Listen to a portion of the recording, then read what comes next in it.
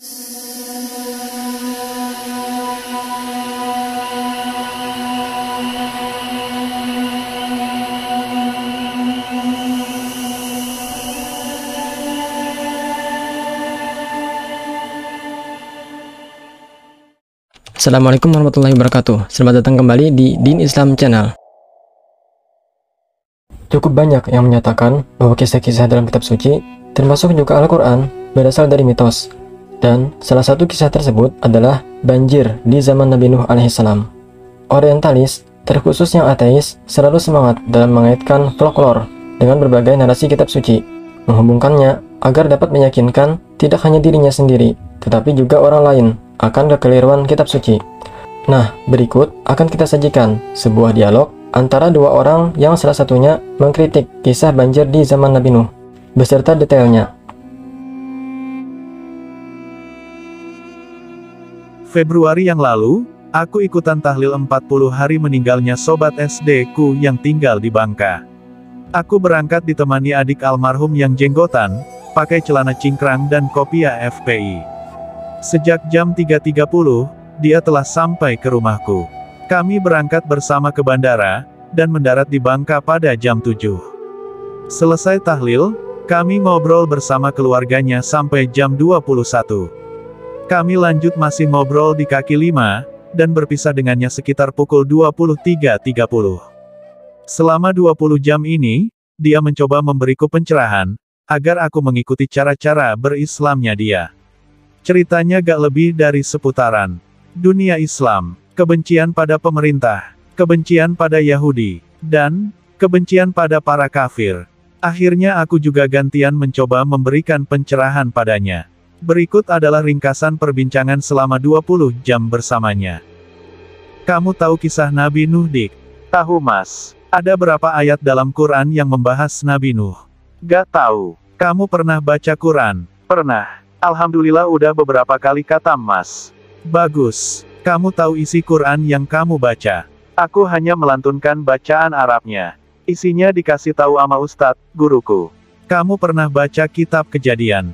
Belum pernah. Kitab kejadian itu apa? Itu Injil Perjanjian Lama, yang isinya sama dengan kitab Taurat. Setahu kamu kisah Nabi Nuh itu bagaimana dik? Nabi Nuh diperintah Allah untuk membuat kapal. Semua hewan datang, masing-masing sepasang dinaikkan ke kapal. Umat manusia yang sudah gak ngikuti perintah Allah tidak dinaikkan ke kapal. Mereka akan dimusnahkan dengan ditenggelamkan dalam banjir. Berapa ukuran kapalnya? Gak tahu mas. Berapa ketinggian banjirnya? Seluruh dunia banjir. Berapa lama kapal mengapung selama banjir? Gak tahu. Kamu tahu ada berapa jumlah spesies mamalia di bumi? Gak tahu. Kamu tahu ada berapa jumlah spesies reptil di bumi? Gak tahu. Kamu tahu ada berapa jumlah spesies unggas di bumi? Gak tahu. Kamu tahu ada berapa jumlah spesies serangga di bumi? Gak tahu. Coba dengerin ya, kisahnya kulengkapi. Kisah Nabi Nuh yang di Quran itu tidak selengkap dan sedetil di kitab kejadian. Ini bisa dimaklumi karena Quran hanya mengadopsi sebagian dari Taurat. Dari kitab kejadian disebutkan, panjang dikali lebar kali tinggi kapal ialah 300 hasta dikali 50 hasta dikali 30 hasta. Satu hasta sama dengan 45 cm, maka ukuran kapal Nabi Nuh ialah 135 meter dikali 23 meter kali 14 meter, sama dengan 43.400 meter kubik. Lama kapal mengapung sama dengan 150 hari ditambah 3 bulan ditambah 40 hari, sama dengan 280 hari. Dari referensi sains disebutkan, jumlah mamalia di bumi sama dengan 5.400 spesies.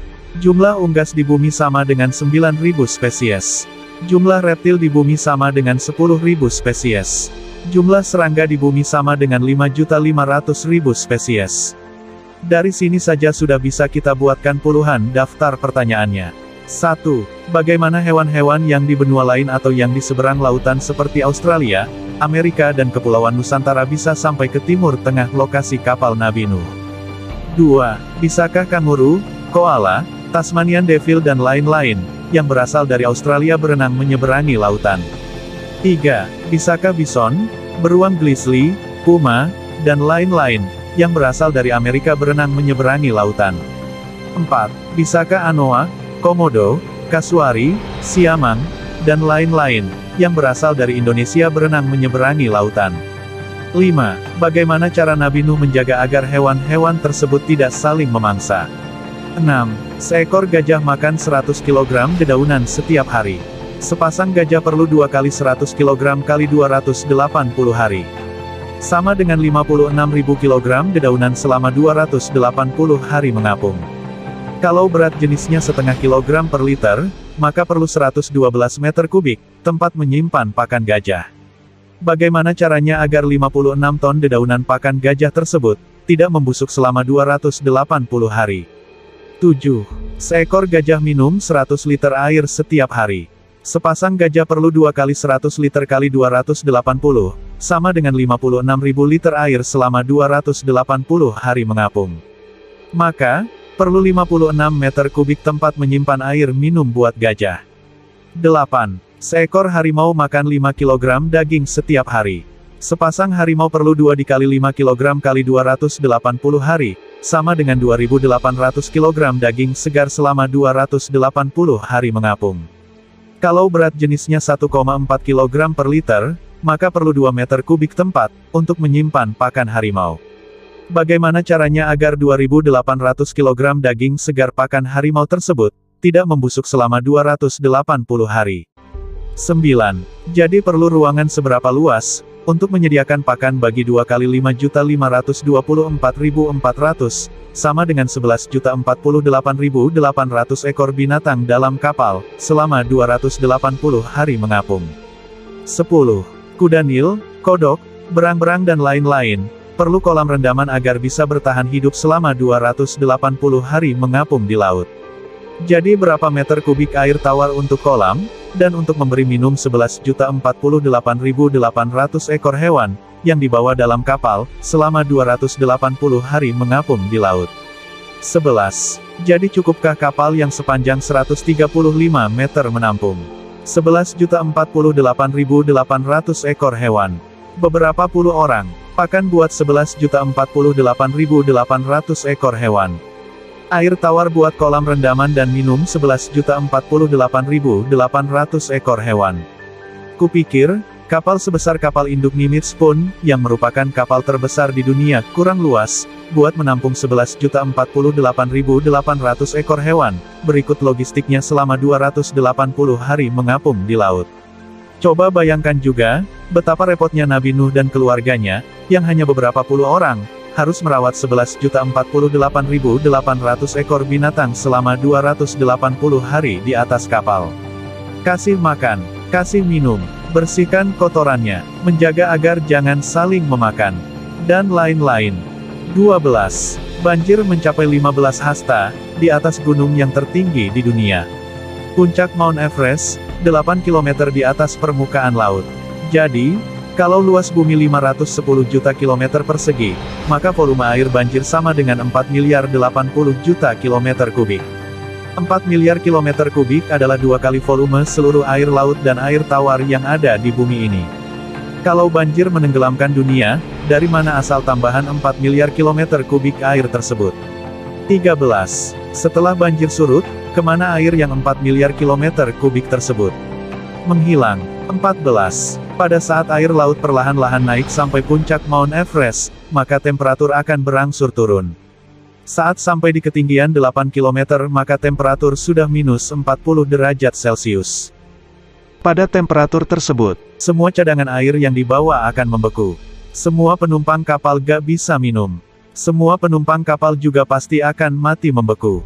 15. Peristiwa banjir tersebut akan mengakibatkan kepunahan massal. Bumi kita ini pernah mengalami lima kepunahan massal. 1. Kepunahan Ordovisian Silurian, 444 juta tahun yang lalu, yang disebabkan seluruh permukaan bumi dilapisi es, karena minimnya CO2. 2. Kepunahan Devonian, 365 juta tahun yang lalu, yang disebabkan banyaknya hujan meteor. 3. Kepunahan Permian Triasik, 252 juta tahun yang lalu, yang disebabkan emisi dari erupsi vulkanis di Siberia. 4. Kepunahan Triasik Jurassik, 201 juta tahun yang lalu, yang disebabkan emisi dari pecahnya benua Pangea menjadi lautan Atlantik. 5. Kepunahan Kretaceous Paleogene, 66 juta tahun yang lalu, yang disebabkan tumbukan meteorit di Teluk Meksiko, yang memusnahkan dinosaurus. Kalau betul banjir Nabi Nuh benar-benar ada, maka itu harusnya sudah menjadi kepunahan yang keenam. Adakah bukti-bukti geologis yang mendukung kepunahan massal tersebut? Tidak ada. Kamu tahu kitab epik Gilgamesh? Tidak. Kitab apa itu mas? Kitab itu ditulis 2100 tahun sebelum masehi. Sebuah karya sastra tulis yang tertua di dunia dari peradaban Sumeria. Barangnya ada, tersimpan dalam bentuk tablet tembikar, di Museum London. Nah, kisah banjir Nabi Nuh ini sangat mirip dengan kisah Gilgamesh. Dan, monoteisme agama Abrahamik Ibrahim baru muncul sekitar 950 tahun sebelum Masehi, atau 1150 tahun setelah ditulisnya kitab Gilgamesh. Banyak sekali dalil-dalil yang diungkapkan, namun selalu kubantah dengan fakta-fakta sains. Sudahlah dik, kita beragama itu yang paling penting adalah menjaga akhlak. Beragama mesti mengedepankan akal sehat. Beragama itu gak boleh menebar kebencian. Dan juga gak boleh nganggap kelompok mulah yang paling benar. Bisa-bisa nanti kamu menjadi simpatisannya ISIS. Begitu nasihatku pada adik almarhum sobatku. Aku lebih suka petuah-petuahnya Gusmus daripada Habib Rizik Syihab. Seminggu kemudian dia meneleponku, dia sempat gak bisa tidur, mikirin kapal Nabi Nuh. Kutawarkan, aku siap menjawab apa pun semua pertanyaanmu. Kapan-kapan kita ngobrol-ngobrol lagi.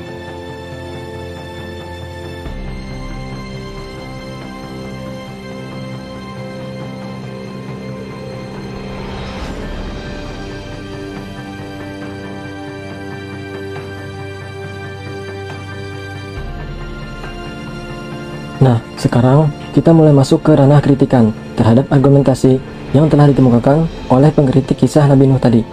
Bantahan ini merupakan kumpulan dari beberapa pendapat yang cukup sesuai untuk dijadikan argumentasi yang membantah tuduhan ketidaklogisan kisah banjir Nuh, khususnya dalam Al-Quran. Mari kita mulai.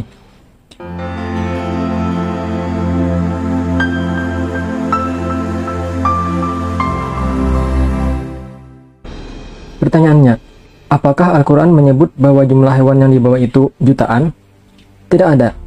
Spesies jutaan itu adalah pemahaman orang awam. Sedangkan Al-Quran hanya menyebut hewan yang berpasang-pasangan. Misalnya harimau, satu jenis, ditambah dengan pasangannya berarti dua ekor. Jadi, tak perlu untuk memasukkan semua jenis harimau di sini. Semua cerita yang ada di dalam kitab suci tiga agama Abrahamik, yakni Yahudi, Kristen, dan Islam, dalam kurun waktu 4000 hingga 5000 tahun, yaitu sejak zaman Nabi Adam sampai Nabi Muhammad, terjadi di dalam lingkaran merah ini. Jadi, persepsi manusia mengenai luas bumi pada zaman tersebut mungkin tidak sama dengan persepsi kita sekarang. Sangat mungkin bahwa banjir besar pada zaman Nabi Nuh yang dikatakan menenggelamkan seluruh bumi hanya terjadi pada sebagian kecil wilayah di dalam lingkaran merah ini dan mungkin juga tidak terlalu banyak spesies hewan yang hidup di dalam wilayah tersebut sehingga muat untuk dibawa di dalam sebuah bahtera dengan ukuran panjang 300 hasta atau 135 meter. Hingga apabila perintah kami datang dan Tanur telah memancarkan air, kami berfirman, muatkanlah ke dalamnya kapal itu dari masing-masing hewan, sepasang, jantan dan betina, dan juga keluargamu, kecuali orang yang beriman. Ternyata orang-orang beriman yang bersamanya dengan Nuh hanya sedikit. Nah, jika kata dalam kurungnya kita hilangkan, maka teksnya akan berbunyi, kami berfirman, muatkanlah ke dalamnya dari masing-masing sepasang dan keluargamu, kecuali orang yang beriman. Di sini tidak disebutkan seluruh jenis hewan, jadi jangan dicari-cari karena memang tak ada teks Al-Quran yang bilang begitu. Kenapa para hewan juga harus dimuat? Karena mereka tidak bersalah. Ini adalah nilai lebih dan bukti kasih sayang para nabi kepada binatang.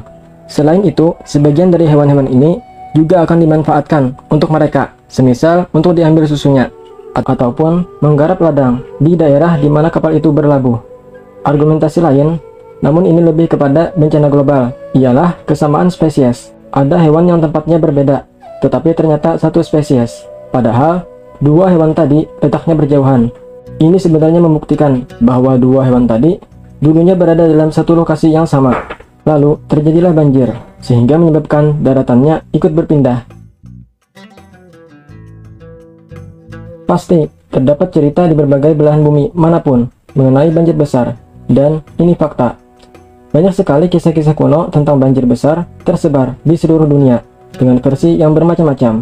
Ini menunjukkan bahwa adanya ingatan masa lalu para leluhur tentang kejadian epik yang pernah mereka saksikan sebelum berpisah dan membentuk peradaban baru masing-masing. Dalam surat Al-Ankabut, Allah SWT berfirman, Maka kami selamatkan Nuh dan orang-orang yang berada di dalam kapal itu, dan kami jadikan peristiwa itu sebagai pelajaran bagi semua manusia. Dalam surat As-Safat, Allah juga berfirman, Kami jadikan anak cucunya orang-orang yang melanjutkan keturunan, dan kami abadikan untuk Nuh pujian di kalangan orang-orang yang datang kemudian.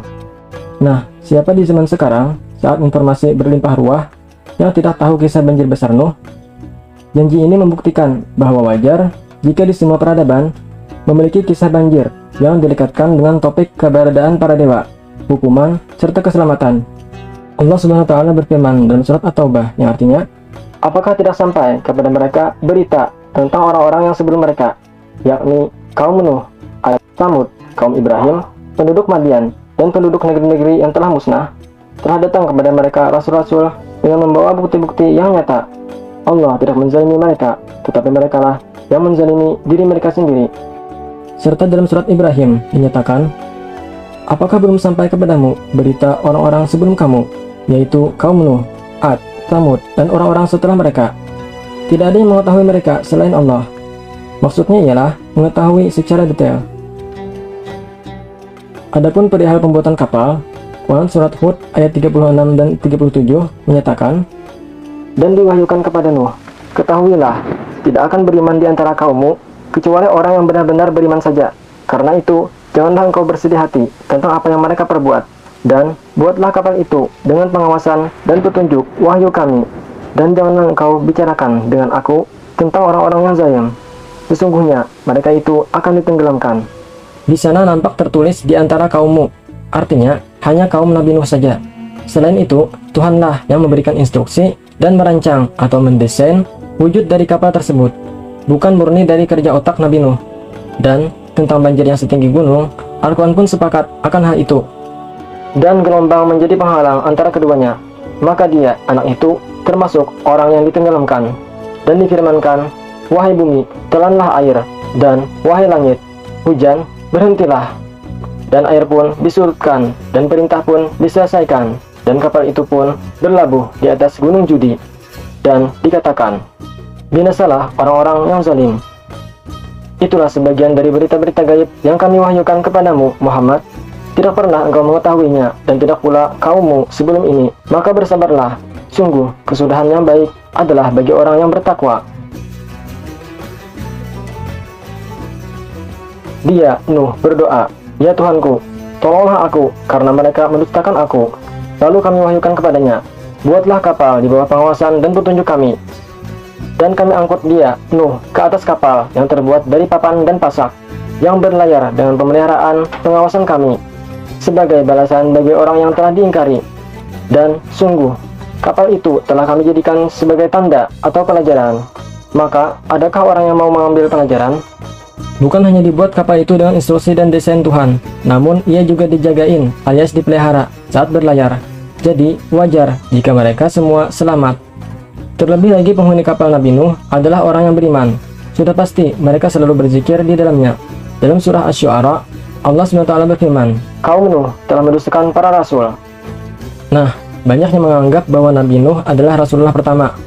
Wallahu alam, karena itulah keterangan dari tafsir jalan lain menyatakan bahwa kaum Nuh telah mendustakan para rasul disebabkan mereka mendustakan Nabi Nuh maka mereka dikatakan telah mendustakan para rasul yang lain. Karena sesungguhnya semua ajaran yang dibawa oleh para rasul adalah sama, yaitu menyeru kepada ajaran tauhid. Atau makna yang dimaksud karena mengingat Nabi Nuh tinggal bersama kaumnya dalam kurun waktu yang sangat lama, sehingga kedudukan Nabi Nuh sama saja dengan kedudukan rasul-rasul yang banyak. Hewan mampu melakukan hibernasi. Nah, jika hewan di zaman sekarang saja mampu untuk melakukan hibernasi, kenapa hewan yang dibawa oleh Nabi Nuh tidak mampu melakukan hibernasi? Hibernasi adalah proses seekor hewan dalam bertahan hidup. Hewan yang akan melakukan hibernasi akan terlihat seperti mereka telah mati. Padahal mereka hanyalah tidur. Hibernasi dilakukan dalam beberapa waktu. Semua itu tergantung pada bagaimana kondisi cuaca di daerah sekitar hewan itu tinggal. Melalui hibernasi, makhluk hidup tidak akan menggunakan metabolisme mereka dalam menghemat energi. Selama proses hibernasi, beberapa bagian tubuh akan turun ke tingkat yang lebih rendah, seperti halnya detak jantung, suhu tubuh, dan laju pernapasan. Hal-hal tersebut akan turun ke tingkat yang jauh lebih rendah. Umumnya, hibernasi dilakukan oleh para hewan. Hewan yang melakukan hibernasi ini hidup pada musim dingin, karena cuaca yang dingin dan langkanya makanan. Hibernasi adalah cara yang terbilang menguntungkan. Pasalnya, hewan-hewan tersebut dapat benar-benar menutup diri Hal tersebut dilakukan selama berminggu-minggu. Selain itu, kita juga harus ingat bahwa Nabi Nuh bukan hanya seorang nabi yang diangkat menjadi rasul, namun beliau juga termasuk di antara ulul azmi, yaitu lima orang rasul yang memiliki tingkat kesebaran tertinggi, seperti hanya Nabi Ibrahim, Musa, Isa, dan Nabi Muhammad yang telah dianugerahi mukjizat, maka tunduknya binatang-binatang buas sangat mungkin terjadi. Lihat saja kisah Nabi Daniel Beliau dipenjara oleh seorang raja yang kejam. Raja memerintahkan pengawalnya mengulung Nabi Daniel dalam sebuah gua yang di dalamnya ada beberapa ekor singa yang lapar. Lalu, apa yang terjadi? Ajaib, singa-singa yang lapar itu membungkam mulut mereka. Tak sedikit pun taring tajam diperlihatkan di hadapan sang nabi. Saat Daniel dimasukkan ke dalam kandang mereka, singa-singa itu justru menjilati sang nabi. Singa yang garang berubah menjadi hewan yang patuh.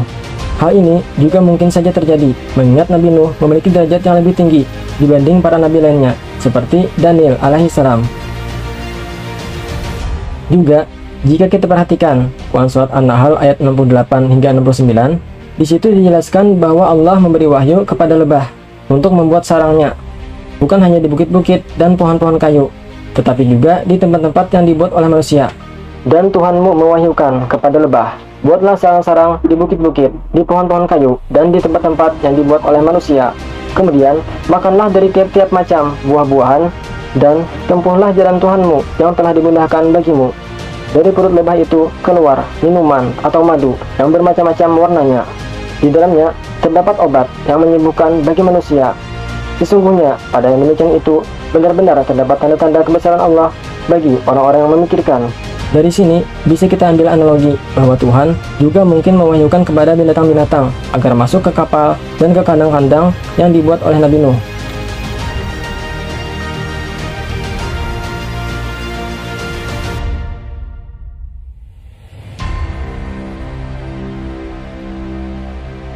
Surat Nuh ayat 26 menyatakan, Dan Nuh berkata, Ya Tuhanku, janganlah engkau biarkan seorang pun di antara orang-orang kafir itu tinggal di atas bumi, Kata bumi di sini bukanlah berarti seluruh dunia. Bumi yang dimaksud sama dengan pepatah di mana bumi dipijak, di situlah langit dijunjung. Jadi, jangan lebay dalam menafsirkan kata bumi yang dimaksud.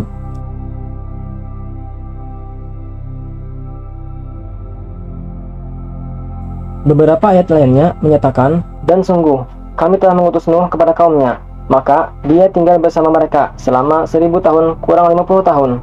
Kemudian mereka dilanda oleh banjir besar, sedangkan mereka adalah orang-orang yang zalim. Kami selamatkan dia bersama pengikutnya dari bencana yang besar, dan kami menolongnya dari orang-orang yang jahat. Maka kami tenggelamkan mereka semuanya. Jadi, jelas bahwa yang ditenggelamkan hanya kaum kafir Nuh. Sungguh, kandungan ayat Al-Quran tersebut selaras dengan ilmu sejarah dan fakta-fakta arkeologi modern. Hal itu terlepas dari kemungkinan untuk disanggah dan sudah pasti berbeda dari pengetahuan manusia pada saat Al-Quran itu diturunkan. Hal tersebut ditegaskan pula oleh seorang ilmuwan, Sir Leonard Walley, pimpinan forum arkeolog yang dihadiri oleh delegasi British Museum dan delegasi dari Pennsylvania University dalam upaya penggalian arkeologis di Tel El Obid yang terletak di utara kota Ur di Irak. Melalui pantai itu ditemukan sejumlah lapisan yang sangat dalam, dan di sana tertanam banyak bejana dan patung-patung yang sangat berharga, serta bagian-bagian tanah kering yang terpahat dengan bekas-bekas batang bambu. Melalui pemeriksaan mikroskopis terhadap sejumlah lapisan tanah, Sir Leonard membuktikan bahwa ternyata tanah tersebut mengandung material yang tersapu air pada suatu masa di bagian tengah sungai Efrat dalam kejadian banjir besar setinggi tak kurang dari 25 kaki. Pendapat sang ahli menyatakan bahwa banjir tersebut tidak terjadi secara global, tetapi memang skalanya sangat besar untuk menjangkau lembah Tigris dan sungai Efrat. Banjir itu bahkan menenggelamkan daerah-daerah gunung sekitar di belahan timur dan perbukitan padang pasir di sebelah baratnya. Yang merupakan kawasan yang paling banyak dihuni oleh manusia pada masa itu. Setelah kejadian banjir besar tersebut, ada penduduk sekitar Lembah Tigris yang mencatat kisah itu di atas 12 keping barang tembikar. Mereka mengisahkan tenggelamnya para penduduk setempat dan hanya ada seorang lelaki saleh yang selamat karena membuat bahtera dan menyelamatkan anggota keluarganya serta hewan ternak dan hewan melata. Ini menunjukkan bahwa banjir menyapu seluruh kaum Nuh alaihissalam dan tidak menunjukkan terjadinya banjir secara global. Tidak ada dalil bahwa manusia, kaum Nuh sebagai yang diazab itu, menempati seluruh wilayah bumi, tetapi hanya menempati suatu tempat tertentu yang tersapu oleh air bah. Dan yang terakhir, yang paling penting, serta masih berkaitan dengan bukti arkeologi adalah mengapa berhala kaum Nuh juga disembah oleh bangsa Arab Jahiliyah Nama-nama berhala yang disembah oleh kaum Nuh dalam Al-Quran dapat ditemukan pada surat ke-71 ayat 23. Dan mereka berkata, Janganlah sekali-kali kamu meninggalkan Tuhan-Tuhan kamu, dan jangan pula sekali-kali kamu meninggalkan Wat, juga Suwa, Yawus, Ya'ok, dan Nasr.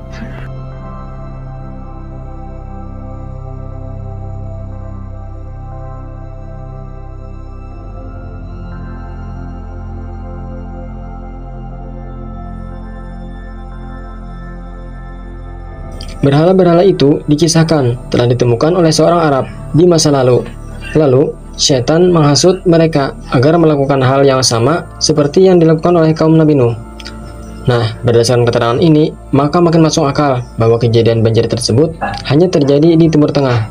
Al-Quran pernah menyatakan dalam surat Al-Isra ayat 3 yang artinya, Wahai keturunan orang yang kami bawa bersama Nuh, sesungguhnya dia Nuh adalah hamba Allah yang banyak bersyukur. Jadi, hanya karena alasan bahwa Al-Quran diturunkan untuk seluruh umat manusia, bukan berarti bahwa ayat ini ditujukan untuk semua manusia saat ini. Surat Al-Isra dulunya bernama Bani Israel, diturunkan di Makkah, dan sebagaimana kita ketahui, penduduk Makkah alias bahasa Arab berasal dari keturunan Sam bin Nuh alaihissalam, dan Nabi berdakwah kepada anak keturunan Sam di Mekah banyak yang beranggapan bahwa seluruh manusia saat ini adalah berasal dari keturunan tiga orang anak Nabi Nuh, yaitu Sam, Ham, dan Yafid. Padahal Al-Quran tak pernah menerangkan demikian. Anggapan bahwa hanya tiga orang anak Nabi Nuh saja yang memiliki keturunan berasal dari keyakinan ahli kitab, yaitu Yahudi dan Nasrani. Dikisahkan bahwa orang-orang yang beriman kepada beliau hanya berjumlah 80 orang, termasuk anak dan menantu beliau. Nah, jika hanya berenam saja ditambah dengan Nuh yang berketurunan, maka apakah sisanya 73 orang adalah mandul? Al-Quran hanya menyebutkan bahwa dan kami jadikan anak cucunya orang-orang yang melanjutkan keturunan. Konsort As-Safat ayat 77. Nah, ayat ini menjelaskan bahwa anak Nabi Nuh tidaklah mandul. Namun juga bukan berarti bahwa hanya anak Nabi Nuh saja yang berketurunan, sedangkan yang lainnya tidak. Kesimpulannya, Al-Quran tidaklah pernah menyebut azab bagi kaum Nabi Nuh ini sebagai bencana global, sebagaimana kitab-kitab suci sebelumnya. Namun, karena di masa lalu, saat Islam masih berkembang sebagai kepercayaan yang baru, kisah-kisah ini dimasukkan oleh para ahli tafsir sebagai referensi tambahan untuk penjelasan terhadap ayat-ayat Al-Quran, sehingga para mu'alaf yang berasal dari alul kitab pun tak segan memasukkan kisah-kisah sebelumnya dalam materi tafsir Al-Quran. Inilah yang disebut dengan kisah Israiliyat.